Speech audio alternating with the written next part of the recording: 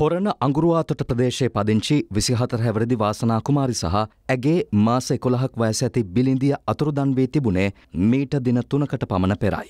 මේ සම්බන්ධයෙන් ඇගේ ස්වාමි පුරුෂයා විසින් පොලිසිය වෙත සිදු කරනු ලැබූ පැමිණිල්ලකට අනුව පොලිස් විමර්ශන ආරම්භ වූ අතර රත්මල්ගොඩ කැලෑබද ප්‍රදේශයකින් අතුරුදන් වූ වාසනාගේ සහ බිලින්දියගේ මලසිරුරු ඊයේ සොයා ගනු ලැබුවා.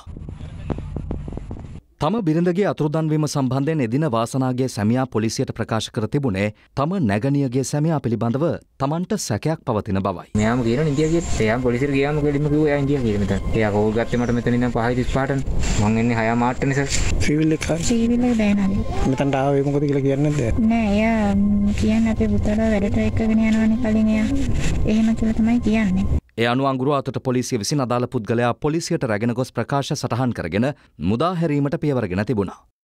කෙසවෙතත් මලසිරුරු හමුවීමෙන් පසු සිදු කරනු ලැබූ CCTV කැමරා දර්ශන පිළිබඳ විමර්ශනවලින් පසු එම පුද්ගලයා අත්තඩංගුවට ගැනීමට පොලිස් විමර්ශන ආරම්භ වූ අතර එ අනු අදාළ සැකකරු පොලිසිය විසින් අද පෙරවරුවේ අත්තඩංගුවට ගෙන තිබෙනවා. අදාළ දර්ශනවලින් සැකකරු සිය ත්‍රීරෝධ රථයෙන් යම් සුදු පැහැති දෙයක් රැගෙන යනු නිරීක්ෂණය වී තිබුණා. එ අනුව වරකාගොඩ පොලිසියේ බුද්ධි නිලධාරින්ගේ තොරතුරු මත සැකකරු අද උදෑසන හයයි තිහට පමණ වරකාගොඩ සල්ගස්මාවත ප්‍රදේශයේදී පාලු නිවසක් පිටුපස සැඟවී සිටියදී අංගුරුවාතට පොලිසිය පොලිස් කණ්ඩායමක් විසින් සැකකරු අත්තඩංගොට ගෙන තිබුණා.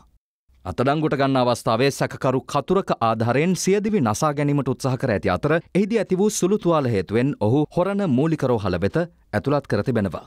සැකකරු අධාධිකරණය හමුවට ඉදිරිපත් කිරීමට නියමිතයි.